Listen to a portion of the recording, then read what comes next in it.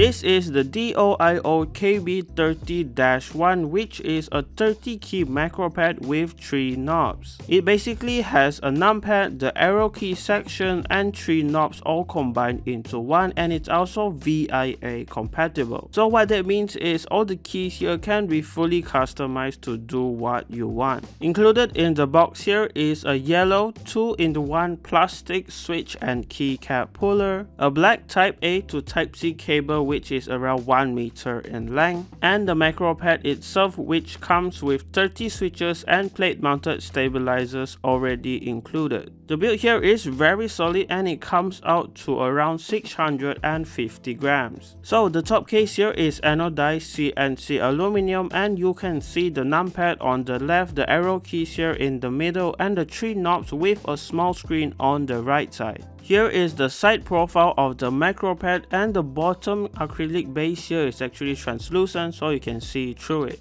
On the back here is three type C ports and honestly I'm not really sure what they do even after reviewing it. On the bottom there's four rubber feet here, the DOIO logo in the middle and a really nice matte finish on the bottom acrylic base. For the lighting on the macro pad you do get per key RGB and underglow RGB with 6 LEDs on the back of the PCB. Alright so basically you have 4 layers on this macro pad and you can see which layer you are on on the small OLED screen here. The first layer here is basically the normal functions of the macro pad. So you have the numpad, the arrow keys here and the knobs. So the first knob controls media play, pause, previous and next. Second knob scrolls the page up and down and the big knob here controls the volume. To change in between the layers here you just have to press down on the second knob and you can see it through the LED screen here. Currently layer 2 and level 3 here are empty so as you can see in the VIA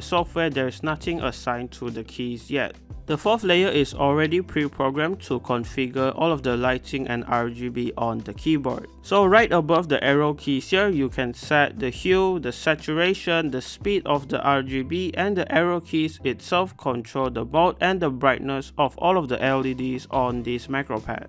Moving on to the switches, mine came with Gateron Milky Yellows which are quite okay to be honest and I quite like them. The plate mounted stabs included are already pre-lubed so that's one less thing to worry about and it even comes with an FR4 plate and 5 pin hot swap north facing PCB. As for the knobs, they are really solid because they are also anodized CNC aluminum both the small ones here and the big knob.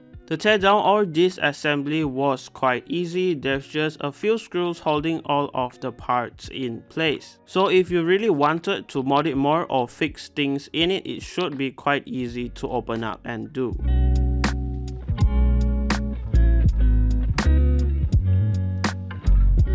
So here is the top case, a super nice solid piece of anodized CNC aluminum. Here is the FR4 plate with all the switches installed. And there's surprisingly a piece of plate foam here for the sound dampening. Here is the north facing hot swap PCB, the small LED screen on the top right and the three knobs here. And also connected to the PCB are the three type C ports at the back. So I wasn't able to take out the PCB from the bottom acrylic base, but there's basically just 6 LEDs here and the hot swap sockets are Gateron. Alright, to match the black anodized finish here, I'll be pairing it with the white and black Akko SAL profile double shot keycaps. And of course, I will be only using the numpad and the arrow keys here for this macro pad.